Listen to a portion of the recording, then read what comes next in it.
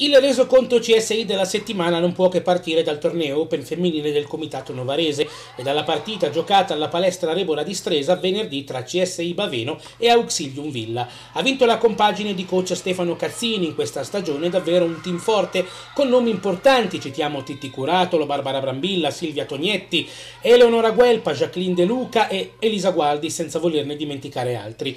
Partita bella ma con un risultato netto per Baveno che ha chiuso 25-15 25-23, 25-23.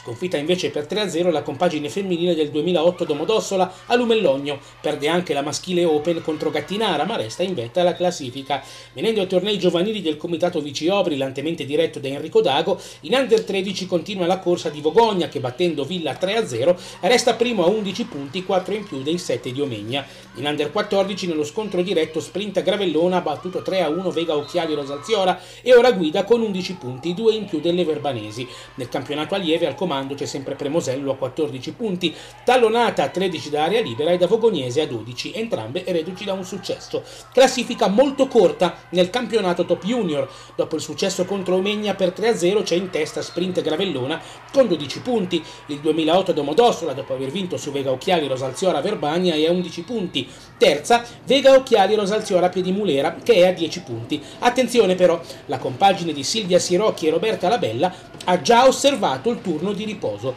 Infine il torneo Open misto che rischia di diventare il classico monologo degli ossolani del volley ma non posso, che hanno vinto 3-0 contro Premosello e guidano ora a 9 punti, con le inseguitrici a 3.